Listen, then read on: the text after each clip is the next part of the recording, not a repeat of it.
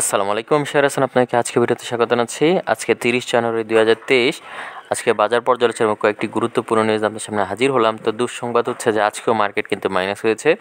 যদিও আমরা আশা করেছিলাম যে মার্কেট ভালো হবে, এর কারণেগুলি রয়েছে, যেমন অনেক ভালো ভালো নিউজ রয়েছে এবং বিভিন্ন রকম বিনিয়োগের খবর আসতে যাচ্ছে, কিন্তু প্রকৃতপক্ষে কিছুতেই কিছু হচ্ছে না, আর বিনিয়োগও কিন্তু আমরা দেখতে পাচ্ছি বাড়ছে না। কারণ আমরা দেখতে পাচ্ছি টাকার অঙ্কের লেনদেন খুবই কম হচ্ছে। এবং সাধারণ বিনিয়োগকারী আলটিমেটলি ক্ষতির সম্মুখীন হচ্ছে এবং যারা ফ্লোর প্রাইজ আটকে রয়েছে তারাও নতুন করে আর বিনিয়োগ করতে পারছে না।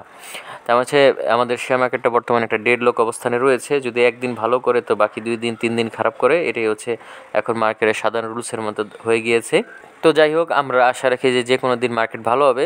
তো যাই হোক, এই ভিডিওটি শুরু করার আগে একটা ছোট্ট অনুরোধ করে, যদি আমার এই ভিডিওটি আপনাদের সামান্য উপকার আসে, তাহলে আমি আশা করব আপনারা আমার চ্যানেলটিকে সাবস্ক্রাইব করবেন এবং আমার ভিডিওতে লাইক অ্যান্ড শেয়ার করবেন। তো যাই হোক, আর কথা নয় সরাসরি আমরা ভিডিও চলে যাই। যেমন আমরা দেখতে পাচ্ছি এখানে ডিএসসি সাধারণ সূচকে নয় দশমিক চার নয় পয়েন্টের মতো মাইনাস হয়েছে। ডিএসসি থার্টি সূচকে আমরা দেখতে পাচ্ছি পাঁচ দশমিক চার তিন পয়েন্টের মতো মাইনাস হয়েছে এবং ডিএসসি সরিয়া সূচকে আমরা দেখতে পাচ্ছি এক দশমিক সাত শূন্য পয়েন্টের মতো মাইনাস হয়েছে। অর্থাৎ তিনটি ইন্ডেক্স কিন্তু আজকে মাইনাস হতে আমরা দেখলাম। এটা খুবই দুর্ভাগ্যজনক এবং আমরা যদি ইন্ডেক্স মুভারে দেখি, তাহলে দেখতে পাচ্ছি যে জেনিক্স ইনফোসিস কিন্তু আজকে এক পয়েন্টের থেকে সামান্য পরিমাণ বেশি আপ করতে পেরেছে, বাকি সবাই কিন্তু এক পয়েন্টের নিচে। এবং একটা বড় বিষয় হচ্ছে, আমরা কিন্তু দেখতে পাচ্ছি যে জেনিক্স ইনফোসিস একটি আইটি সেক্টরের শেয়ার তো আইটি সেক্টর বর্তমানে ভালো করছে, এছাড়াও বেশ কিছু ব্যাংক সেক্টরের শেয়ারও কিন্তু আমরা দেখতে পাচ্ছি যে ইন্ডেক্স মুভার অংশগ্রহণ করেছে, ভালো করেছে। এটা আসলে খুবই ভালো একটা দিক এবং কিছু ফার্মাসিউটিক্যাল সেক্টরের শেয়ারও রয়েছে। অপর দিকে আমরা যদি দেখি যে মার্কেট ড্র্যাগারের ক্ষেত্রে মার্কেট ড্র্যাগার আমরা দেখতে পাচ্ছি যে বিকন ফার্মা কিন্তু আজকে তারা আড়াই পয়েন্টের বেশি মাইনাস করেছে। এছাড়াও ইনিক হোটেল তারা দেড় পয়েন্টের মতো মাইনাস করেছে। ওরিয়ন ফার্মা তারা কিন্তু এক পয়েন্টের থেকে বেশি মাইনাস করেছে। এছাড়া বাকি সবাই কিন্তু সামান্য পরিমাণ মাইনাস করেছে। এবং একটা বড় বিষয় হচ্ছে এখানে কিন্তু আজকে খেয়াল করছি মাইনাসের বেশিরভাগ পরিমাণে আমরা দেখতে পাচ্ছি যে ফার্মাসিউটিক্যাল সেক্টরের শেয়ার এবং এছাড়াও সেই সাথে যুক্ত হয়েছে ইন্স্যুরেন্স সেক্টরের কিছু শেয়ার এবং কিছু আইটি সেক্টর বা আমরা বলতে টেলিকম সেক্টরের শেয়ার তো মূলত আসলে যেই সকল শেয়ারগুলো এই কয়েকদিন ভালো করছিল, তারাই মূলত বর্তমানে খারাপ করছে। এটা আমার ধারণা যে কারেকশন পয়েন্ট অথবা বলতে পারি যে সেল প্রেশার বাড়াতে তাদের এই অবস্থা হয়েছে।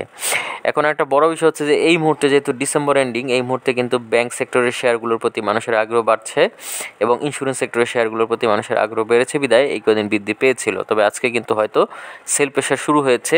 যেহেতু অনেক ভালো অবস্থানে রয়েছে, কারণ ডিভিডেন্ড ঘোষণা করতে হলেও আরও হয়তো এখন অনেকগুলো ডিভিডেন্ড ঘোষণা হচ্ছে, আর বাকিগুলোর যেগুলো ডিভিডেন্ড ঘোষণা করা বাকি রয়েছে, সেগুলো হয়তো বেশ কিছুদিন সময় লাগতে পারে। তো এই ডিভিডেন্ড যেই পরিমাণ পাওয়া যাবে, তার তুলনায় যদি এমনিতেই শেয়ারটির মূল্য বেশি থাকে তাহলে মানুষ কিন্তু সেটাই গ্রহণ করবে এটি হচ্ছে সাধারণ রুলস তো সেটাই আমরা দেখতে পাচ্ছি। এছাড়াও আমরা যদি দেখি আজকে টাকার অঙ্কের লেনদেন বা টোটাল লেনদেনের মধ্যে দেখতে পাচ্ছি মাত্র বত্রিশটি শেয়ার আপ হয়েছে, একশো বাহাত্তরটি অপরিবর্তিত ছিল এবং একশো ছত্রিশটি কিন্তু আমরা দেখতে পাচ্ছি পতন ঘটেছে। এবং টাকার অঙ্কের লেনদেন যদি আমরা খেয়াল করি, তাহলে আমরা দেখতে পাচ্ছি আজকে কিন্তু তুলনামূলকভাবে কিছুটা বৃদ্ধি পেয়েছে বলতে গেলে। যেমন গতদিন আমরা দেখতে পাচ্ছিলাম চারশো উননব্বই দশমিক এক সাত চার কোটি টাকার মতো লেনদেন হয়েছিল আর আজকে আমরা দেখতে পাচ্ছি যে পাঁচশো নয় দশমিক চার আট দুই কোটি টাকার মতো লেনদেন হয়েছে।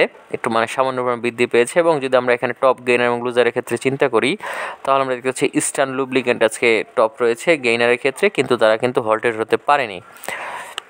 এছাড়া ওরিয়ন ইনফিউশনও কিন্তু মোটামুটি বৃদ্ধি পেয়েছে। অপর দিকে আমরা যদি দেখি লুজারের ক্ষেত্রে লুজারের ক্ষেত্রে আমরা দেখতে পাচ্ছি যে আমরা টেকনোলজি কিন্তু কিছুটা তারা অনেক বেশি পরিমাণে, আমরা বলতে হলে যে লুজার হয়েছে। তো এটা আসলে টেকনোলজি খাতের এই শেয়ারটি কিন্তু আমরা দেখতে পাচ্ছি সবচেয়ে বেশি পরিমাণে খারাপ অবস্থানে ছিল আজকে। এছাড়াও জেএমআই হসপিটালও কিন্তু খারাপ অবস্থানে রয়েছে। আমরা দেখতে পাচ্ছি, এছাড়াও ইন্স্যুরেন্স সেক্টরে কিছু শেয়ার রয়েছে। তো এই হচ্ছে মোটামুটি বিষয়। কিন্তু টাকার অঙ্কে লেনদেনের ক্ষেত্রে আমরা যদি খেয়াল করি, তাহলে আমরা দেখতে পাচ্ছি যে আজকে টাকার অঙ্কে লেনদেনে জেনিক্স ইনফোসিস কিন্তু ভালো করেছিল এবং বসুন্ধরা পেপার মিলসের যদিও দাম কমেছিল, কিন্তু তারপরে তারা কিন্তু ভালো লেনদেন করেছে আজকে আমরা দেখতে পাচ্ছি। এছাড়াও আমরা নেটওয়ার্ক কিন্তু ভালো করেছে। তো আমরা টেকনোলজি এবং আমরা নেটওয়ার্ক কিন্তু একই গ্রুপের শেয়ার কিন্তু দেখতে পাচ্ছি যে আমরা আমরা টেকনোলজি যদিও খারাপ করেছে, আমরা নেটওয়ার্ক কিন্তু ভালো করেছে, আমরা খেয়াল করছি এখানে। এছাড়াও ইয়েচলও কিন্তু এই লিস্টে রয়েছে। এরপরে যদি আমরা ব্লক মার্কেটটা যদি খেয়াল করি, তাহলে আমরা দেখতে পাচ্ছি ব্লক মার্কেটে স্কোয়ার ফার্মার কিন্তু আজকে লেনদেন বৃদ্ধি পেয়েছে অনেকাংশে। এবং আমরা দেখতে পাচ্ছি যে অনেক উপর অবস্থান করছে। এছাড়াও আমরা যদি বেক্সিংগোর কথা ধরি, এটাও কিন্তু ভালো লেনদেন হয়েছে ব্লক মার্কেটে তো এই হচ্ছে মোটামুটি অবস্থা ব্লক মার্কেটে আপনারা চাইলে দেখতে পারেন, এছাড়াও আমরা মেট্রো স্পিনের কথা বলতে পারি ব্লক মার্কেটে ভালো লেনদেন। তো এরপরে যদি আমরা এখানে মার্কেট ম্যাপটা যদি খেয়াল করি, তাহলে আমরা দেখতে পাচ্ছি মার্কেট ম্যাপে এখানে কিন্তু আজকে কোনো সেক্টরই তেমন কোনো ভালো করতে পারেনি। তবে খারাপের ক্ষেত্রে আমরা দেখতে পাচ্ছি paper and printing travel and leisure এই সেক্টরগুলো কিন্তু তুলনামূলকভাবে খারাপ করেছে। তো যাই হোক, এই ছিল এক নজরে বাজারের অবস্থা। তো চলুন আমরা এখন গুরুত্বপূর্ণ নিউজগুলোতে চলে যাই। তো প্রথমে আমরা যে নিউজটি দেখব, এই নিউজটি খুব একটা ভালো নিউজ বলা যেতে পারে বিডি ল্যাম্পসের জন্য। তো আমরা দেখতে পাচ্ছি যে নতুন প্রোডাকশন লাইন স্থাপন করবে বিডি ল্যাম্পস।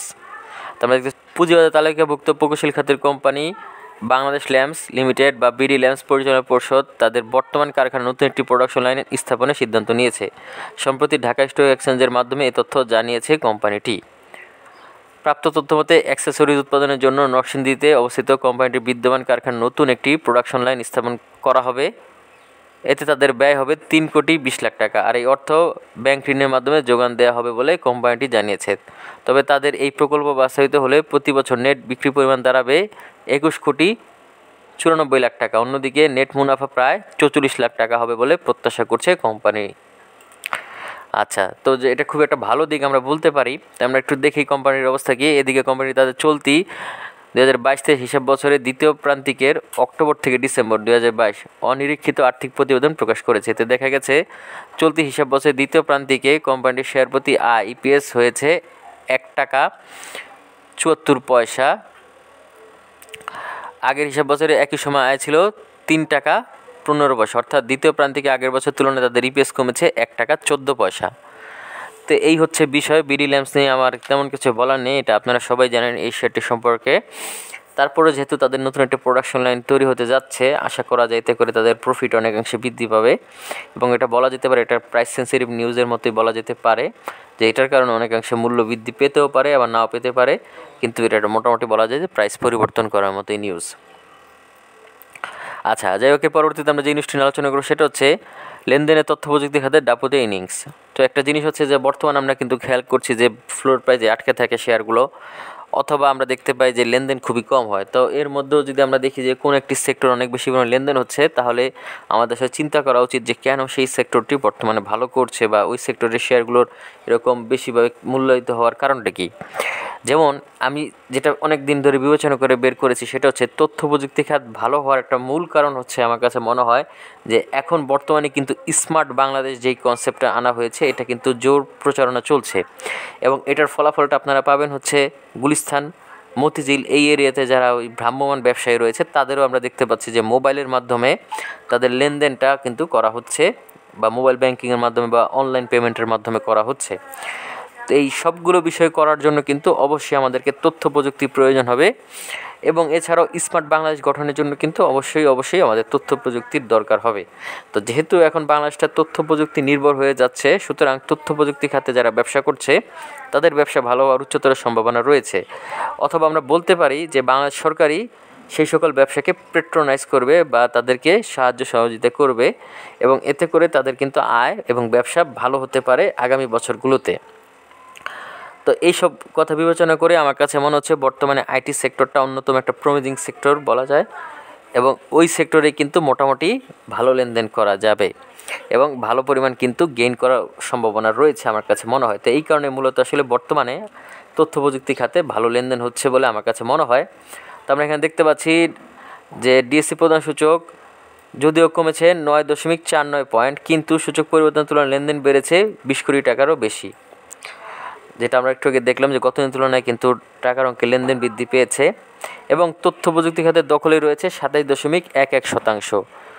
তার মানে বুঝতে পারলাম যে টোটাল যতটুকু লেনদেন হয়েছে তার মধ্যে কিন্তু সাতাইশ দশমিক এক এক শতাংশই কিন্তু তথ্য প্রযুক্তি খাতে। আর বাকিটা কিন্তু সম্পূর্ণ বা অন্যান্য যেই খাতগুলো রয়েছে সেখানে লেনদেন হচ্ছে।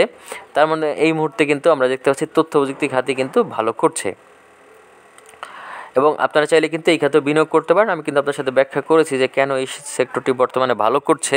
তো আশা করা যায় এটা সামনের দিকেও ভালো করবে। এই হচ্ছে বিষয়। তো যাই হোক, এর পরবর্তীতে আমরা যে নিউজটি আলোচনা করব সেটা হচ্ছে ব্লকে তিন কোম্পানি বড় লেনদেন।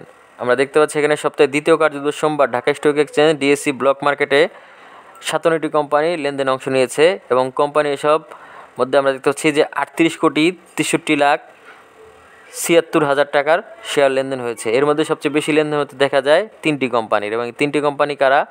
স্কোয়ার ফার্মা বেক্সিমকো এবং মেট্রো স্পিনিং যেটা আমরা একটু আগে আলোচনা করেছি। তো আমরা এখানে দেখতে পাচ্ছি যে এই তিনটি কোম্পানি মোটামুটি লেনদেন করেছে আঠারো কোটি তিরানব্বই লাখ টাকার বেশি, যা ব্লক মার্কেটের ঊনপঞ্চাশ শতাংশ। আমাদের কাছে স্কোয়ার ফার্মা সবচেয়ে বেশি নয় কোটি একচল্লিশ লাখ একান্ন হাজার টাকার। অন্যদিকে বেক্সিমকো পাঁচ কোটি সাতচল্লিশ লাখ ছিয়ানব্বই হাজার টাকার এবং মেট্রো স্পিনিং চার কোটি পাঁচ লাখ টাকার। তো আপনারা চাইলে কিন্তু এই শেয়ারগুলোর দিকে নজর রাখতে পারেন। বিশেষ করে আমি বলব যে স্কোয়ার ফার্মা এবং বেক্সিমকো এই দুটো শেয়ার কিন্তু আপনারা চাইলে আপনাদের পোর্টফোলিওতে রাখতে পারেন দীর্ঘদিনের জন্য। আশা করি আপনারা ভালো প্রফিট গেইন করতে পারবেন। তো এই মতামতটা সম্পূর্ণ আমার নিজের ব্যক্তিগত, আপনারা চাইলে আপনাদের মতো পোর্টফোলিও সাজাতে পারেন। এর পরবর্তী আজকে নিয়ে সর্বশেষ যে নিউজটি আলোচনা করব সেটা হচ্ছে, সূচকের পতনেও শেয়ারের বেড়েছে লেনদেন। তো এটা আমরা একটু আগে দেখলাম যে তেমন কোনো লেনদেন বৃদ্ধি পায়নি, খুবই সামান্য পরিমাণ লেনদেন বৃদ্ধি পেয়েছে, যদিও মার্কেট পতন ঘটেছে। তো এই মার্কেট পতন ঘটা এবং লেনদেন বৃদ্ধি না পাওয়ার মূল কারণটা হচ্ছে আমার কাছে মনে হয় যে যারা যারা এই মুহূর্তে আশ্বস্ত করেছিল শেয়ার মার্কেটকে যে তারা বিনিয়োগ করবে, কিন্তু তারা কিন্তু প্রকৃতপক্ষে এখনও বিনিয়োগ শুরু করেনি। হয়তো তারা বেশিরভাগই সাইড লাইনে রয়েছে, অথবা তারা বাজারকে পর্যবেক্ষণ করছে। এবং আমার কাছে মনে হয় যে ফ্লোর প্রাইসটা তুলে দেওয়া পর্যন্ত তারা অপেক্ষা করছে। কারণ অনেকে হয়তো ধারণা যে ফ্লোর প্রাইসটা তুলে দিলে মার্কেট আরও পতন ঘটবে এবং শেয়ার আর সস্তায় ক্রয় করা যাবে। এবং যদি এই ডিসেম্বর এন্ডিংয়ে শেয়ারগুলো যদি সস্তায় ক্রয় করা যায়, তাহলে এই ডিসেম্বর এন্ডিংয়ে যে ডিভিডেন্ডগুলো আছে, সেই ডিভিডেন্ডগুলো অনেক ভালো হারে পাওয়া যাবে এবং ডিভিডেন্ড ইল্ড কিন্তু সেই হিসেবে অনেক বেশি পরিমাণ বৃদ্ধি পাবে বলে আমার কাছে মনে হয়। তো এই ধরনের বিভিন্ন রকম ক্যালকুলেশনের কারণে কিন্তু আমরা দেখতে পাচ্ছি যে বড় বড় বিনিয়োগকারী এখনও বিনিয়োগ শুরু করেনি বা আমরা বলতে পারি প্রাতিষ্ঠানিক বিনিয়োগকারীরা বিনিয়োগ শুরু করেনি। যদি তারা বিনিয়োগ শুরু করতো, তাহলে অবশ্যই এতদিনে বাজার ঘুরে যেত এবং লেনদেন অনেকাংশে বৃদ্ধি পেত। তো যাই হোক, আমি আশা করব তারা অতি শীঘ্রই হয়তো বিনিয়োগ শুরু করবে। তো আশা করতে তো দোষ নেই, তো সেই আশার উপর ভরসা করে আগামী দিনগুলোতে আপনাদের সামনে ভালো সুখবর নিয়ে আসতে পারব। তো সেই পর্যন্ত আজকে এখানে বিদায় নিচ্ছি, আগামীতে দেখা হবে নতুন কোনো ভিডিও নিয়ে। সেই পর্যন্ত আল্লাহ হাফেজ, আসসালামু আলাইকুম।